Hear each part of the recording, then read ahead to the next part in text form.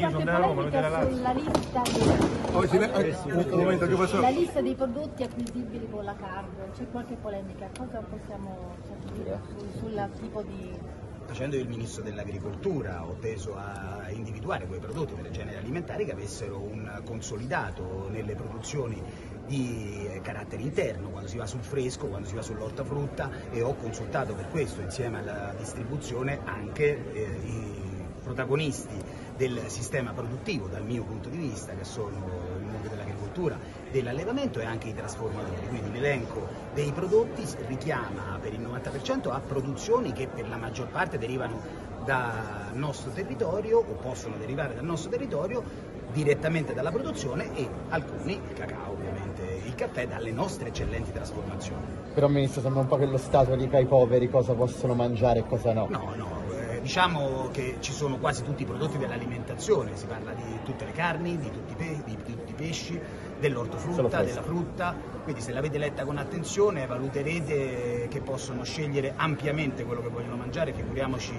eh, se andiamo ad individuare eh, che cosa nello specifico devono mangiare i nostri cittadini. Però se possiamo attivare degli investimenti da parte dello Stato con le risorse disponibili che attivino anche un'altra parte che è consumo ma è anche filiere che danno lavoro, lo facciamo perché questo fa un eh, doppio beneficio alla nostra comunità e credo che sia interesse di tutti agire in questo modo. no? Voi avete votato contro in Europa il ripristino diciamo, della natura, la conservazione la salvaguardia e andrete avanti su questa linea? in maniera chiara e netta, perché bisogna eh, tener conto dal nostro punto di vista eh, di quello che arreca un danno e non raggiunge gli obiettivi. A nostro avviso questo regolamento arreca un danno al sistema produttivo del quale sentiamo ancora maggior bisogno rispetto alle contingenze di carattere internazionale emerse soprattutto dopo l'aggressione della Russia all'Ucraina e non raggiunge l'obiettivo di salvaguardare una sostenibilità ambientale perché limitare il mondo dell'agricoltura in maniera così netta e forte come si proponeva e per fortuna alcuni articoli sono stati eh, ieri estromessi dal testo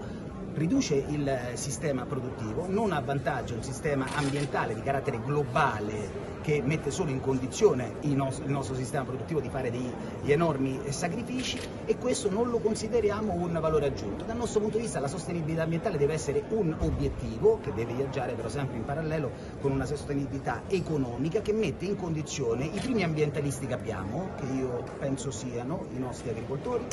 i nostri pescatori e i nostri allevatori, al contrario di quello che pensano altri. Ma io mi baso su dati oggettivi, dove non c'è agricoltura, dove non c'è allevamento, viene giù tutto per semplificare e lo abbiamo visto anche nelle aree colpite dagli alluvioni eh, e negli ultimi anni dal dissesto idrogeologico che grava in maniera più decisa dove manca l'agricoltura e l'allevamento.